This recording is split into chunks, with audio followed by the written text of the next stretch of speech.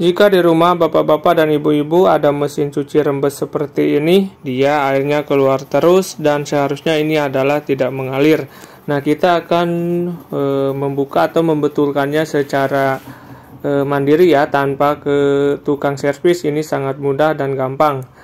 Nah, kita mulai saja. Ini dibuka baut di bagian belakangnya, yaitu ada dua baut ya, kanan sama kiri kita buka semuanya. Setelah itu adalah baut yang sebelah kanan kiri di bagian depan. Nah ini ada tutupnya. Kita buka dulu tutupnya.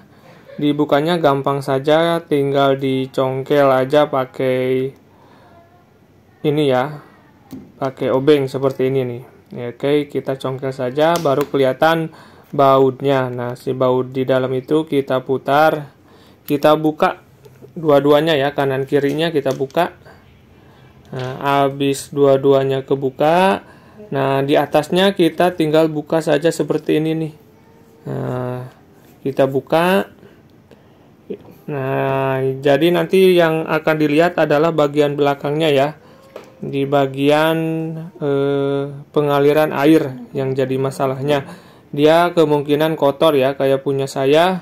Ini adalah kotor karena airnya eh, sudah lama tidak dibersihkan ya.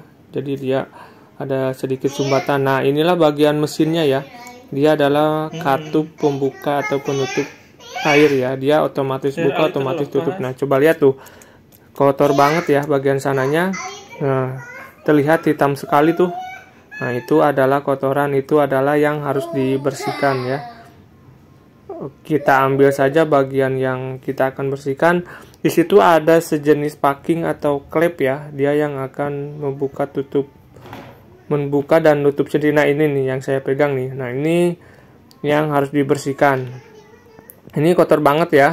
Nah, lihat warnanya hitam sekali. Habis ini kita bersihkan. Nah, ini adalah yang sudah dibersihkan ya. Kelihatannya sudah lebih lebih bagus ya. Nah, ini jangan sampai kebalik. Cara itunya cara memasang kembalinya ya. Habis itu dipasang seperti biasa dan insya Allah air akan menutup dan membuka secara otomatis